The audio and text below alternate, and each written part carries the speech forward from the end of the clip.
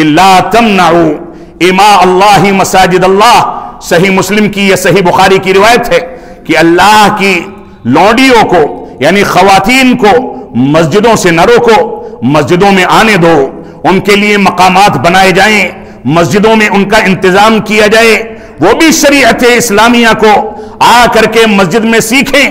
آج کے دور کے لوگوں کے لیے یہ واقعہ عبرتناک واقعہ ہے۔ جب ہمارے ہی درمیان کی بعض نام نہاد خواتین نے یہ مسئلہ سپریم کورٹ میں اٹھا دیا ہے کہ خواتین کو مسجدوں میں جانے کی اجازت دی جائے۔ نعوذ باللہ من ذالک۔ جو اجازت چودہ سو سال سے آج تک موجود ہے، ہم نے تقلید شخصی کا مزاج رکھنے کے نتیجے میں، اپنے امام کی تقلید کرنے کے نتیجے میں اس مسئلے کو لوگوں کے سامنے واضح نہیں کیا۔ تو مجرم ہم ہیں۔ ہم نے ہمیشہ اس بات کی ہماری ذمہ داری ہے کہ ہم خواتین کو مسجدوں سے جوڑیں۔ تو ابن عمر رضی اللہ تعالیٰ کے کسی بیٹے نے اٹھ کر کے کہا کہ میں تو مسجدوں میں اپنی خواتین کو آنے سے روکوں گا۔ تو انہوں نے فرمایا کہ میں کہتا ہوں کہ اللہ کے نبی صلی اللہ علیہ وسلم نے ان خواتین کو آنے کی اجازت دی ہے اور تم ان کو روکنے جاتے ہو۔ لہٰذا ان کو سختی کے ساتھ ڈانٹا۔ اور بعض روایات میں ہے کہ پھر جب تک انہوں نے معافی نہیں مانگی، جب تک ان سے قطع تعلق کر لیا، کیونکہ سنت رسول کے تحفظ کا مسئلہ الحمد لله الحمد نحمده ونستعينه ونستغفره ونعوذ بالله من شرور أنفسنا ومن سيئات أعمالنا من يهده الله فلا مضل له، ومن يضلل فلا هادي له۔ وأشهد أن لا إله إلا الله وحده لا شريك له وأشهد أن محمدا عبده ورسوله. أما بعد فإن خير الحديث كتاب الله وخير الهدي هدي محمد صلى الله عليه وسلم وشر الأمور محدثاتها وكل محدثة بدعة وكل بدعة ضلالة وكل ضلالة في النار. فأعوذ بالله السميع العليم من الشيطان الرجيم. بسم الله الرحمن الرحيم. من يطع الرسول فقد أطاع الله. ومن تولى فما أرسلناك عليهم حفيظا. وقال النبي صلى الله عليه وسلم من أطاعني فقد أطاع الله ومن عصاني فقد عصى الله. متفق عليه. محترم سامعین کرام بزرگان دین اور نوجوان ساتھیوں، گزشتہ پانچ چھ خطبات جمعہ سے آپ حضرات کے سامنے رسول اکرم صلی اللہ علیہ وسلم کی عظمت، آپ کی سیرت مبارکہ اور مبارک سیرت کے مختلف گوشوں پر گفتگو کی جا رہی تھی، جس کو ماہ ربیع الاول کی ابتدا کی مناسبت سے اس ارادے سے شروع کیا گیا تھا کہ مسلمان تقلید شخصی، شخصیت پرستی اور غلط انداز کے اعتقادات، غلط انداز کے منہج اور غلط انداز کے وطیرے سے توبہ کر کے اس نبی آخر الزما جناب محمد الرسول اللہ صلی اللہ علیہ وسلم کے پیروکار بنے، جس نبی کو اللہ رب العالمین نے اور جس نبی کی جس نبی کے دلائل کو اللہ رب العالمین نے قرآن مجید کے دلائل کے برابر اہمیت عطا فرمائی، جس نبی کی اطاعت کو اللہ رب العالمین نے اپنی اطاعت قرار دیا، جس نبی کو اللہ رب العالمین نے قرآن مجید جیسا معجزہ عطا فرمایا، جس نبی کو اللہ رب العالمین نے اتنی قوت اور اتنے معجزات عطا فرمائے کہ اس کے اشارے پر چاند کے دو ٹکڑے ہو جاتے تھے۔ اللہ رب العالمین کا کرم، اللہ رب العالمین کا احسان عظیم تھا کہ اس نے انسانیت کے سامنے اس نبی آخر الزما کو مبعوث فرمایا، جس پر رسالت کو تمام کر دیا گیا، جس پر قرآن مجید کو نازل کر کے اس کی احادیث صحیحہ کی ذمہ داری بھی قرآن مجید ہی کے طریقے پر اللہ رب العالمین نے اپنے ذمے رکھی، اس نبی کو مبعوث فرما کر کے اللہ رب العالمین نے صرف مسلمانوں پر نہیں، بلکہ پوری انسانیت پر، اور صرف انسانوں پر نہیں، بلکہ جانوروں پر، درندوں پر، درختوں پر، جمادات پر، انسانوں کے ساتھ ساتھ جناتوں پر، اور تمام مخلوقات پر اللہ رب العالمین نے احسان عظیم فرمایا۔ اللہ رب العالمین نے اس نبی آخر الزما کو مبعوث فرما کر کے ہم کو یہاں تک سکھایا کہ ہم کیسے سوئیں، کیسے پانی پیئیں، کیسے چلیں، کیسے بیدار ہوں، کیسے نیند پوری کریں، کیسے لوگوں سے تعامل کریں، مساجد کو کیسے تعمیر کیا جائے، کیسے آباد کیا جائے، کس انداز کی زندگی گزاری جائے۔ اللہ رب العالمین کا احسان عظیم ہے کہ اللہ رب العالمین نے اس نبی آخر الزما صلی اللہ علیہ وسلم کو اس انسانیت پر بحیثیت نبی و رسول کے بھیج کر کے احسان عظیم متا فرمایا۔ اس پر اللہ رب العالمین کی جتنی شکر گزاری ادا کی جائے کم ہے۔ رسول اکرم صلی اللہ علیہ وسلم نے ہم کو تمام کی تمام چیزوں سے آگاہ فرمایا۔ یہاں تک بتایا کہ استنجا اور قضاء حاجت اور غسل تنہائی اور لوگوں کے سامنے اور جہاں بھی ہم کو زندگی گزارنی ہے، وہاں زندگی گزارنے کے آداب کیا ہیں؟ طریقہ کیا ہے؟ اس کو کس انداز سے گزارا جائے؟ کن چیزوں کا اہتمام کیا جائے؟ کن چیزوں سے بچا جائے؟ کون سی چیزوں کو اپنایا جائے؟ کون سی چیزوں سے دوری اختیار کی جائے؟ یہ نبی آخر الزما جناب محمد الرسول اللہ صلی اللہ علیہ وسلم نے مکمل تفصیل کے ساتھ ہمارے سامنے بیان فرمایا۔ اللہ رب العالمین نے ارشاد فرمایا، من يطع الرسول فقد اتى الله ومن تولى فما ارسلناك عليهم حفيظا سورة النساء میں اللہ رب العالمین نے واضح کر دیا، جس نے رسول اکرم صلی اللہ علیہ وسلم کی اطاعت کر لی، جس نے آپ کی صحیح حدیث کو اپنا لیا، جس نے آپ کے فرامین پر عمل کر لیا جس نے آپ کے احکامات کو اپنا لیا، جس نے آپ کے بتائے ہوئے طریقے پر اپنی زندگی کو ڈھال لیا، آپ کی سیرت کا مطالعہ کیا، آپ کے آداب کو اپنایا، آپ کی زندگی اور اس کا مطالعہ کر کے اس زندگی کے مطابق اپنی زندگی کو ڈھالا۔ تو گویا رسول اکرم صلی اللہ علیہ وسلم کی اطاعت، یہ اللہ رب العالمین کی اطاعت ہے۔ اللہ رب العالمین نے واضح کر دیا سورت النساء میں، من يطع الرسول فقد اطاع اللہ. جس نے رسول اکرم صلی اللہ علیہ وسلم کی اطاعت کی، اس نے اللہ رب العالمین کی اطاعت کی، کیونکہ نبی آخر الزما جناب محمد الرسول اللہ صلی اللہ علیہ وسلم کے بارے میں اللہ رب العالمین کا فرمان ہے، وما ينطق عن الهوى ان هو الا وحي يوحى. آپ اپنی مرضی سے، اپنی اپنے شوق سے یا اپنی مرضی سے کوئی بات نہیں کرتے، بلکہ جو کچھ بتاتے ہیں، جو کچھ سکھاتے ہیں، جو کچھ حکم دیتے ہیں، جو کچھ طریقہ واضح کرتے ہیں، یہ ساری کی ساری چیزیں وحی یوحا ہے یعنی اللہ رب العالمین کی جانب سے نازل کردہ وحی ہے۔ جیسے اللہ رب العالمین نے قرآن مجید کو نازل فرمایا، قرآن مجید کی حفاظت کی ذمہ داری لی۔ اسی طریقے سے اللہ رب العالمین نے رسول اکرم صلی اللہ علیہ وسلم کی احادیث مبارکہ کو حجیت بھی عطا فرمائی اور اس کو ہمارے لیے حجت اور دلیل بھی قرار دیا اور ان کی حفاظت کی ذمہ داری بھی فرمائی۔ قیامت تک کوئی بھی انسان، کوئی بھی طاقت کتنا بھی فریب کرنے والا، کتنی بھی توجیح و تعویل کرنے والا، قرآن و سنت کو تبدیل کرنے والا، کتنی بھی طاقت کے ساتھ آ کر کے اسلام اور اسلامی شاعر اور اسلامی نصوص کو بدلنا چاہے، رسول اکرم صلی اللہ علیہ وسلم کی احادیث مبارکہ کی حجیت پر کوئی حرف لا کر کے کھڑا کرے، شبہات پیدا کرے، تو اللہ کی قسم سنت رسول کا دفاع کرنے والے ہر دور میں موجود تھے اور قیامت تک موجود رہیں گے۔ آج کے دور میں یہ فتنہ ایک عظم ایک عظیم فتنے کی شکل اختیار کرتا جا رہا ہے۔ اور اسی علاقے میں کئی جگہوں سے اس بات کی خبریں مل رہی ہیں کہ بعض لوگ اپنے دروس میں بیٹھ کر کے یہ بات کہتے ہیں کہ ہمارے لیے قرآن مجید کافی ہے۔ سنت رسول کے مطابق فیصلے کرنا، اس کو بیان کرنا، اس کو ذکر کرنا، یہ ہماری ذمہ داری نہیں ہے۔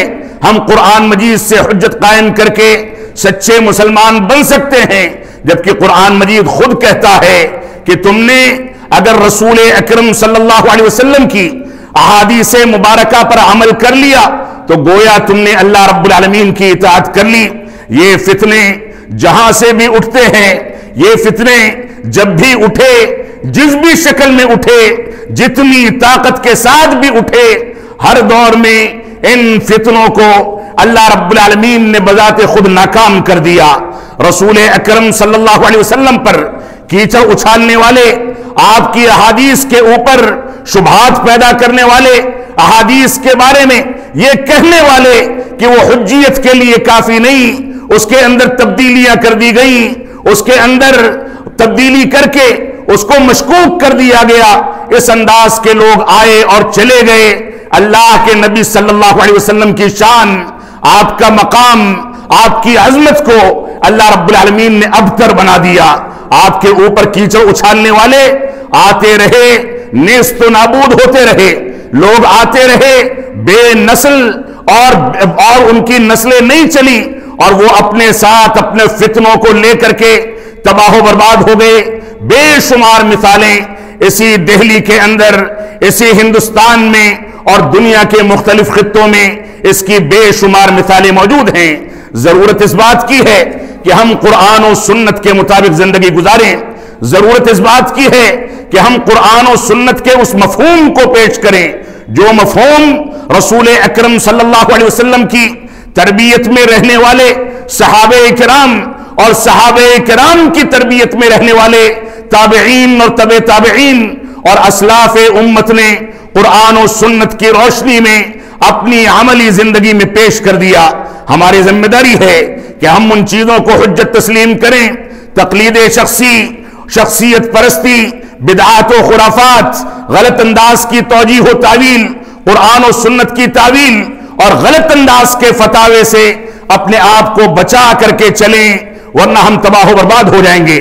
آپ دیکھیں، اللہ رب العالمین نے قرآن مجید کو، قرآن مجید کو نازل فرمایا اور اس کی شرح و تفسیر کے لیے رسول اکرم صلی اللہ علیہ وسلم نے اپنی احادیث مبارکہ کے ذریعے تفصیلی بیانات ذکر فرمائے۔ اللہ رب العالمین نے نماز پڑھنے کا حکم دیا۔ لیکن تفصیل قرآن مجید میں موجود نہیں ہے۔ اللہ رب العالمین نے زکوٰۃ ادا کرنے کا حکم دیا، لیکن تفاصیل قرآن مجید میں موجود نہیں ہے اللہ رب العالمین نے حج بیت اللہ کو استطاعت کی صورت میں انجام دینے کا حکم دیا۔ لیکن تفاصیل اگر موجود ہیں، تو رسول اکرم صلی اللہ علیہ وسلم کی احادیث مبارکہ میں موجود ہیں۔ اگر کوئی شخص قرآن مجید کو حجت تمام مانتا ہے احادیث رسول کا انکار کرتا ہے، اس سے دوری اختیار کرتا ہے، تو اس سے پوچھا جائے کہ وہ پیٹھ پر ہاتھ باندھے گا، کہ اپنی گردن پر باندھے گا، کہ اپنے سر پر باندھے گا، اور رکو آگے کی جانب جھک کر کے کرے گا، یا پیچھے کی جانب جھکے گا، سجدے میں کیسے جھکے گا، کون سی کیفیات اختیار کرے گا؟ ساری کی ساری تفصیل رسول اکرم صلی اللہ علیہ وسلم کی احادیث مبارکہ میں موجود ہیں۔ قرآن مجید اس کے بارے میں مکمل خاموشی اختیار کرتا ہے۔ معلوم یہ ہوا کہ قرآن مجید جیسے حجت ہے، اسی طریقے سے سنت رسول صلی اللہ علیہ وسلم کو بھی اللہ رب العالمین نے حجت قرار دیا۔ اللہ رب العالمین کا فرمان ہے، انا نحن نزلنا الذکر و انا له لحافظون کہ ہم نے ذکر کو نازل کیا اور ہم ہی اس کی حفاظت کرنے والے ہیں۔ اس ذکر سے مراد مفسرین کے راج قول اور تقریباً اجماع امت کے لحاظ سے اگر دیکھا جائے تو اس ذکر سے مراد قرآن مجید اور سنت رسول دونوں کے دونوں ہیں۔ اللہ رب العالمین نے فرمایا، سورہ آل عمران میں فرمایا، اطیعوا اللہ والرسول لعلکم ترحمون۔ اے لوگو، تم اللہ رب العالمین کی اطاعت کرو اور رسول اکرم صلی اللہ علیہ وسلم کی اطاعت کرو تاکہ تم پر رحم کیا جائے۔ اگر تم نے اللہ رب العالمین کی اطاعت کا دعویٰ کر لیا رسول کی اطاعت سے تم نے کنارہ کشی اختیار کر لی، اس کا انکار کر دیا، اس میں شبہات پیدا کر دیے، اس کی توجیح و تعویل کر لی، اس کے بارے میں غلط انداز کے فتوے دے دیے، اپنے امام کے قول کو حجت سمجھا اور سنت رسول کو بالا طاق رکھ دیا۔ تو سن لو کہ تمہارے اوپر رحم نہیں کیا جا سکتا۔ رحم کرنے کے لیے دونوں کی دونوں چیزیں ایک ساتھ تمہاری زندگی میں آئیں گی۔ تو تم اللہ رب العالمین کی رحمت اور اس کے رحم کے مستحق قرار پاؤ گے۔ اللہ رب العالمین کا فرمان ہے یا ایوہ الذین آمنوا اطیعوا اللہ و اطیعوا الرسول و اولی الامر منکم فَإِن تَنَازَعْتُمْ فِي شَيْءٍ فَرُدُّوهُ إِلَى اللَّهِ وَالرَّسُولِ إِن كُنتُمْ تُؤْمِنُونَ بِاللَّهِ وَالْيَوْمِ الْآخِرِ ذَلِكَ خَيْرٌ وَأَحْسَنُ تَأْوِيلًا۔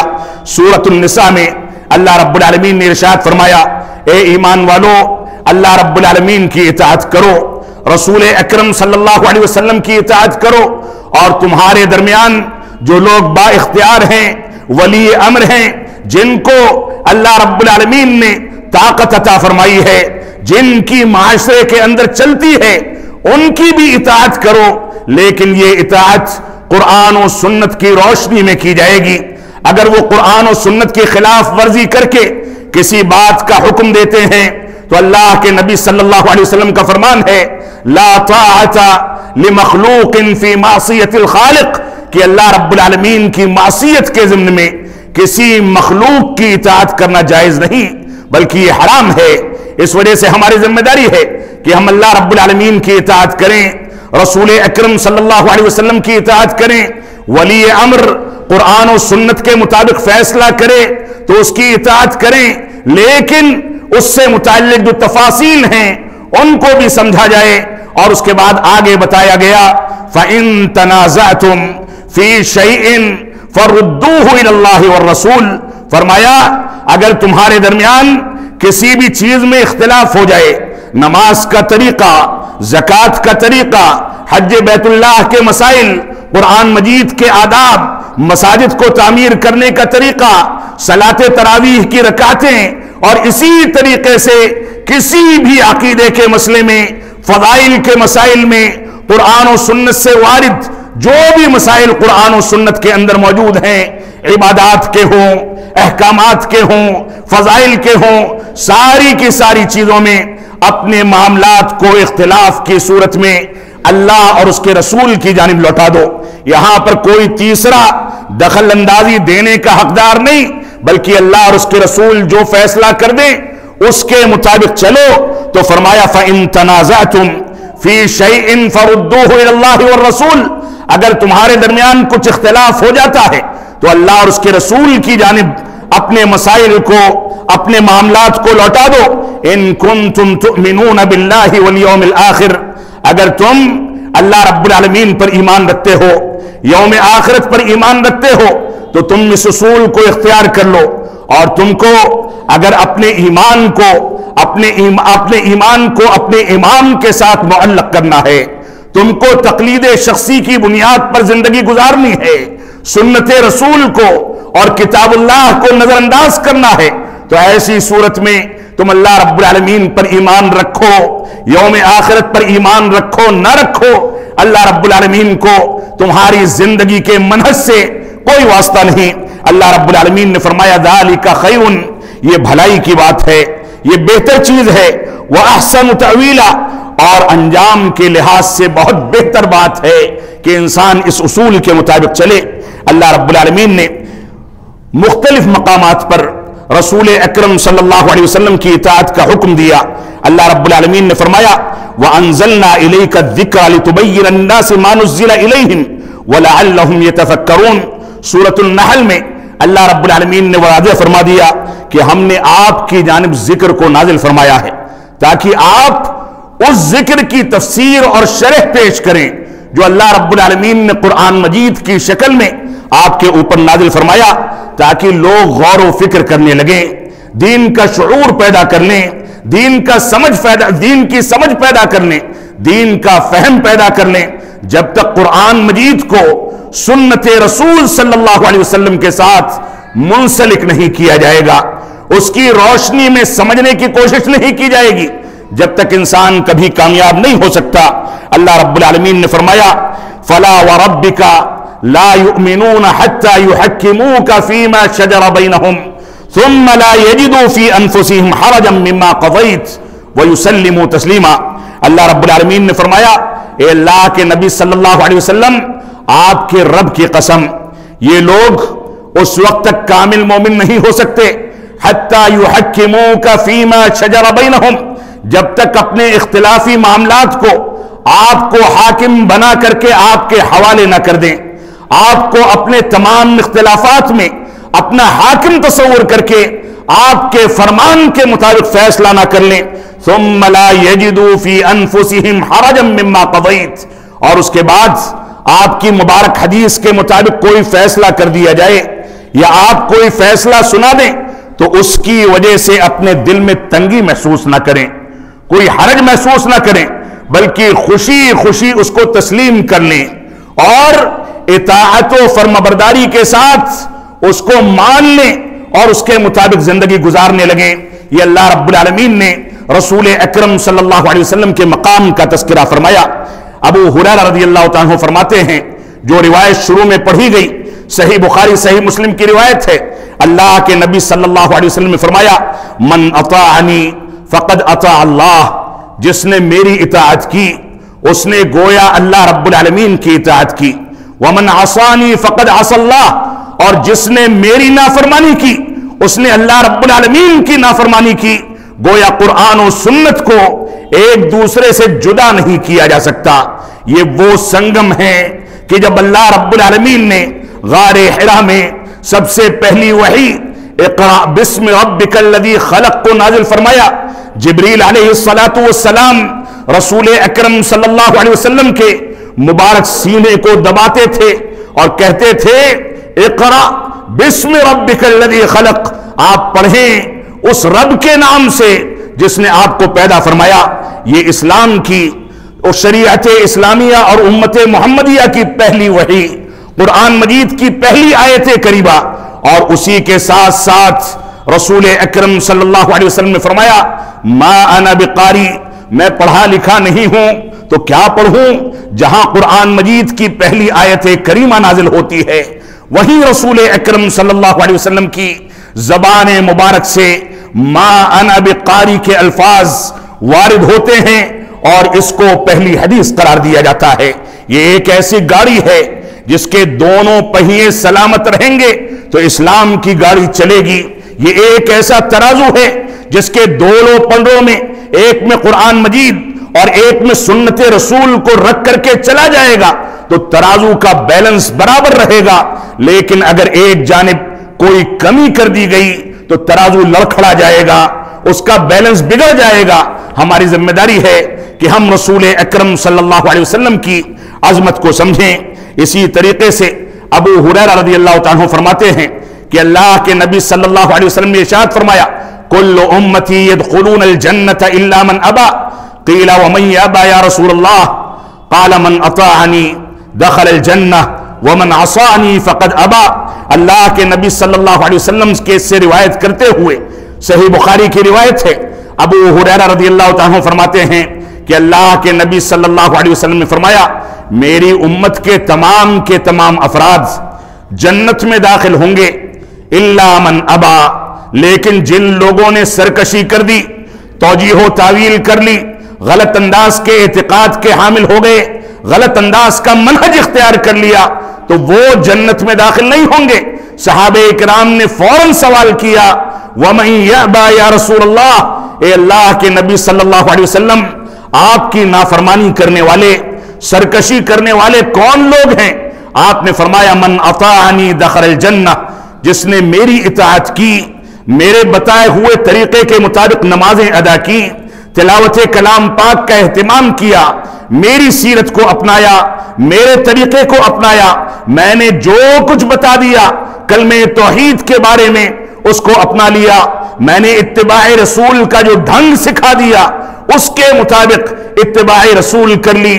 میں نے ان کو چلنے، پھرنے، اٹھنے، بیٹھنے، عبادات کو انجام دینے، معاملات کرنے، لوگوں کے ساتھ لین دین کرنے کے جو اصول اور ضوابط اور طریقے اور آداب بتا دیے ان چیزوں کو اپنا کر کے جس نے میری اطاعت کی، دخل الجنہ، تو وہ جنت میں داخل ہوگا۔ ومن عصانی فقد ابا اور جس نے میری معصیت کر دی، گویا وہ سرکشی کرنے والا ہے۔ اللہ رب العالمین ہم کو رسول اکرم صلی اللہ علیہ وسلم کی اطاعت کی توفیق عطا فرمائے۔ آپ کی نافرمانی، آپ کے دین کے خلاف سرکشی کرنے سے ہم کو محفوظ رکھے۔ اللہ رب العالمین ہم کو ان لوگوں میں سے بنائے جو رسول اکرم صلی اللہ علیہ وسلم کی اطاعت کو انجام دے کر کے جنت کے مستحق قرار پائیں گے۔ اللہ رب العالمین ہم کو جہنم اور دوزخ اور اسی طریقے سے ہر قسم کے عذاب سے اللہ رب العالمین ہم کو محفوظ رکھے۔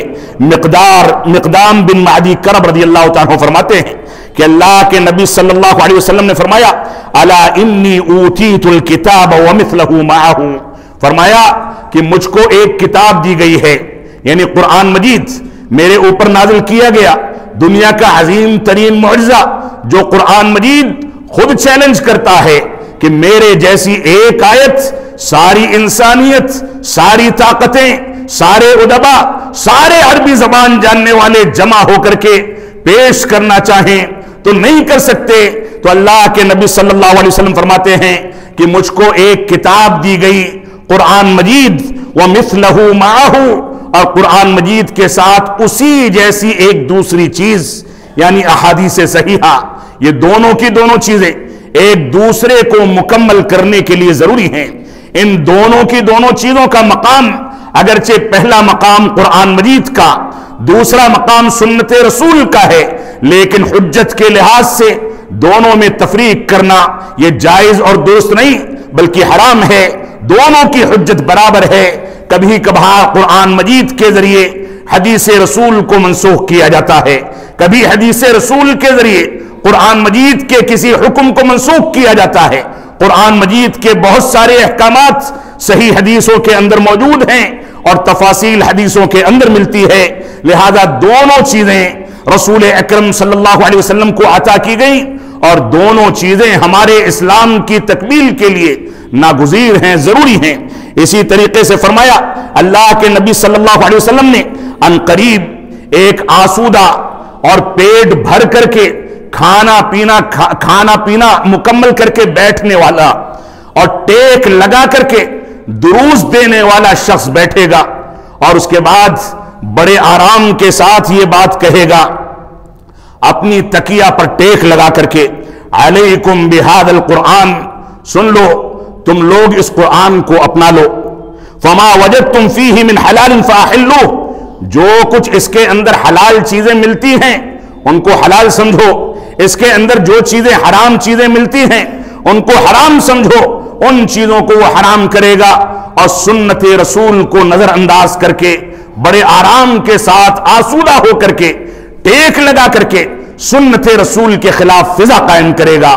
آج کے دور میں سنت رسول کو نکارنے والے، اس میں شبہات پیدا کرنے والے اور قرآن مجید کو حجت قرار دے کر کے اس کو تمام کرنے والے، یہ وہی لوگ ہیں جو اسی انداز سے نہ حلال و حرام کی تمیز کرتے ہیں، نہ آرام اور دوسری چیزوں کا امتیاز کرتے ہیں، نہ سنت رسول کے آداب کا خیال کرتے ہیں اور غلط انداز کے فتوے دیتے ہیں۔ یہ مسند احمد، ابو داود اور حاکم کی صحیح روایت ہے۔ علامہ البانی رحمت اللہ علیہ نے اپنی کتابوں میں اس کو صحیح قرار دیا۔ اسی طریقے سے حسن بن جابر رضی اللہ تعالیٰ فرماتے ہیں کہ میں نے مقدام بن مہدی کرب رضی اللہ تعالیٰ کو فرماتے ہوئے سنا کہ حرم رسول اللہ صلی اللہ علیہ وسلم یوم خیبر شیء اشیاء، کہ اللہ کے نبی صلی اللہ علیہ وسلم نے خیبر کے موقع سے بہت ساری چیزوں کو حرام قرار دیا اور اس کے بعد فرمایا کہ ان قریب ایسا دور آئے گا کہ تم میں سے کوئی شخص مجھ کو جھٹلا دے گا، میری تکذیب کرے گا، مجھ کو جھوٹا کہے گا، میرے اقوال کو نکار دے گا اور وہ ٹیک لگا کر کے یہ جرم انجام دے گا۔ بڑے آرام کے ساتھ وہ لوگوں کے سامنے اپنی علمی شان کو ظاہر کر کے سنت رسول کے اوپر شبہات پیدا کرے گا اور اس کے بعد میری حدیث کو بیان کر کے یہ کہے گا، بیننا و بینکم بکتاب اللہ، کتاب اللہ کہ ہمارے اور تمہارے درمیان اللہ رب العالمین کی کتاب ہے، لہذا اس میں جو کچھ ملے اس کو حلال سمجھو، جو کچھ اس میں حرام ملے اس کو حرام سمجھو، اور اس کے بعد اللہ کے نبی صلی اللہ علیہ وسلم فرماتے ہیں، الا انما حرم رسول اللہ صلی اللہ علیہ وسلم مثل ما حرم اللہ. حاکم اور ترمیزی وغیرہ کی صحیح روایت ہے. علامہ البانی رحمت اللہ علیہ نے صحیح قرار دیا. فرمایا کہ خبردار تم لوگ سن لو کہ میں یعنی رسول اکرم صلی اللہ علیہ وسلم جن چیزوں کو حرام کرتے ہیں وہ چیزیں اسی طریقے سے حرام ہیں جیسے اللہ رب العالمین نے کسی چیز کو حرام قرار دیا. دونوں کی حرمت میں تفریق کرنا اللہ اور اس کے رسول کے درمیان تفریق پیدا کرنا یہ مجرموں کا طریقہ ہے، قرآن و سنت کے دشمنوں کا طریقہ ہے۔ قرآن و سنت کے سچے شہدائی ایسا کبھی نہیں کر سکتے۔ اور واقع اردداد میں آپ دیکھیں، جب ابو بکر صدیق رضی اللہ تعالیٰ نے فرمایا کہ مانعین زکات نے اگر ایک بکری کا بچہ یا بعض روایات کے مطابق بکری یا جانور کو باندھنے کی ایک رسی بھی اگر زکات میں رسول اکرم صلی اللہ علیہ وسلم کے عہد مبارک میں دیتے تھے اور اس کو روک لیا، تو اللہ کی قسم میں ان سے جنگ کروں گا۔ حضرت عمر بن خطاب رضی اللہ تعالیٰ نے فرمایا کہ اللہ رب العالمین نے تو فرمایا، اللہ کے رسول صلی اللہ علیہ وسلم نے تو فرمایا ہے، جس نے کلم توحید کا اقرار کر لیا، اس نے اپنے خون کو مجھ سے محفوظ کر لیا۔ تو آپ ان کے خلاف جہاد کیسے کریں گے؟ تو فرمایا کہ نہیں، اللہ رب العالمین کی زکات اللہ کے مال میں زکات نکالنا یہ مالی عبادت ہے۔ اور جیسے اللہ رب العالمین کے توحید اور دوسرے ارکان اسلام و ایمان میں کوئی فرق نہیں کر سکتا، ویسے ہی اگر کسی نے سلاد سوم اور زکات کے درمیان فرق کیا، کسی نے نماز اور زکات کے درمیان فرق کیا، تو اللہ کی قسم میں اس سے قتال کروں گا، جہاد کروں گا۔ اور اس کے بعد عمر بن خطاب رضی اللہ تعالیٰ فرماتے ہیں، تب میرے سمجھ میں آیا کہ زکات اور مانعین زکات کا فتنہ، یہ کتنا عظیم فتنہ تھا، جس کو ابو بکر صدیق رضی اللہ تعالیٰ نے دبا کر کے ختم کر دیا۔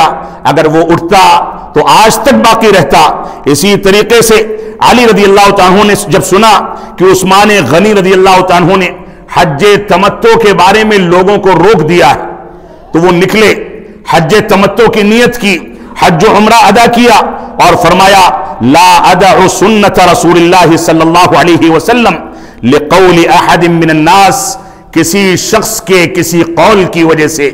میں رسول اکرم صلی اللہ علیہ وسلم کی سنت کو نظر انداز نہیں کر سکتا، چھوڑ نہیں سکتا۔ اسی طریقے سے جب ابن عمر رضی اللہ تعالیٰ سے اور ابن عباس رضی اللہ تعالیٰ سے، جیسا کہ علامہ ابن تیمیہ شیخ الاسلام نے اس بات کا تذکرہ اپنی کتابوں کے اندر کیا ہے کہ جب ان سے کہا گیا کہ حج تمتو افضل ہے، کہ حج قران افضل ہے، تو انہوں نے فرمایا کہ حج تمتو افضل ہے۔ سائل بار بار اسی سوال کو دہراتا رہا۔ وہ اسی جواب کو دہراتے رہے۔ اخیر میں ناراض ہو کر کے کہا، اقول قال رسول اللہ صلی اللہ علیہ وسلم، وتقولون قال ابو بکر و عمر۔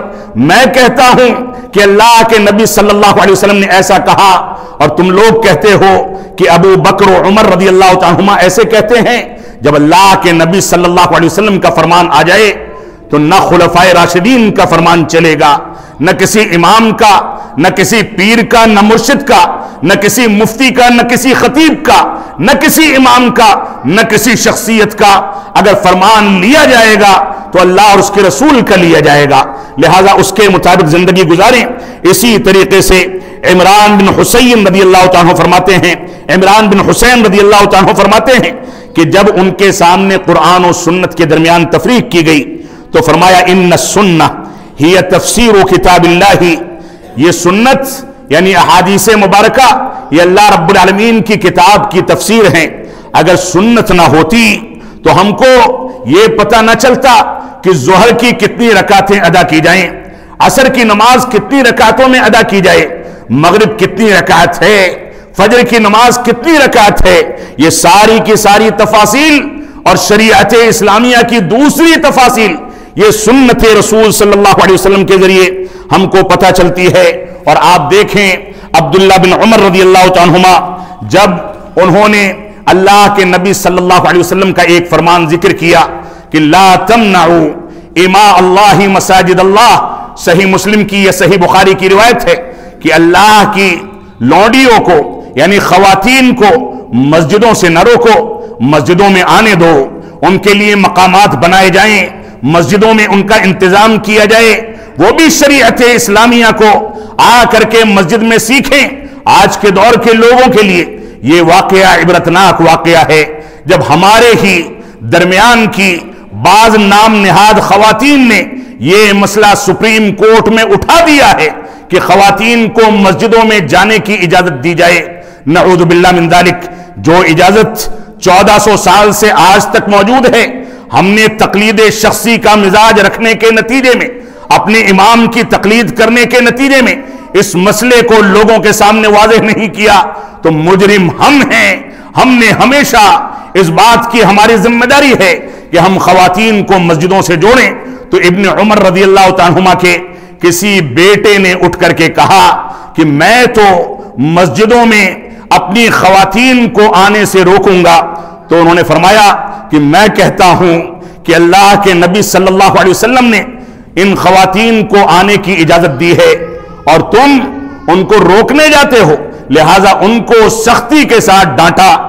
اور بعض روایات میں ہے کہ پھر جب تک انہوں نے معافی نہیں مانگی، جب تک ان سے قطع تعلق کر لیا، کیونکہ سنت رسول کے تحفظ کا مسئلہ تھا۔ تو ہماری ذمہ داری ہے کہ ہم قرآن و سنت کی حجیت کو رسول اکرم صلی اللہ علیہ وسلم کے مقام کو سمجھیں۔ اور اگر ہمارے علاقے میں یا دنیا کے کسی بھی خطے میں کوئی شخص بیٹھ کر کے ٹیک لگا کر کے اور حدیث کی کتابوں کا درس دیتے ہوئے اپنے منہ میں پان اور تمباکو بھر کے اور نعوذ باللہ من ذالک، نہ بولتا ہے، نہ صحیح سے سنتا ہے اور سنت رسول کا درس دیتے ہوئے نکل جاتا ہے۔ یہ کہتا ہے کہ یہاں پر اگرچہ اللہ کے رسول صلی اللہ علیہ وسلم کا یہ فرمان ہے، لیکن ہمارے امام نے ایسا کہا، لہذا امام کی بات مانی جائے اس کے منہ سے نکلے ہوئے پان کے تھوک اور چھیٹے اس کی حدیث کی کتابوں پر بظاہر دیکھے جا سکتے ہیں۔ یہ توہین ہے حدیث رسول کی۔ یہ توہین ہے رسول اکرم صلی اللہ علیہ وسلم کے ذات گرامی کی۔ ہمیں سمجھنا ہوگا کہ اللہ کے نبی صلی اللہ علیہ وسلم کا مقام کیا تھا، آپ کی عظمت کیا تھی، آپ کے فرامین کی حجیت کیا تھی۔ اللہ رب العالمین ہم کو اس حساس مسئلے کو سمجھنے اور اس کے مطابق اپنی زندگی کو ڈھالنے کی توفیق عطا فرمائے۔ ہم جب تک جئیں، تب تک اسلام پر جئیں، جب ہمارا خاتمہ ہو، تو ایمان پر ہو۔ بارک اللہ لنا ولکم فی القرآن المجید ونفعنی وإياكم بالآيات والذكر الحميد إنه تعالى جواد كريم ملك بر الرؤوف الرحيم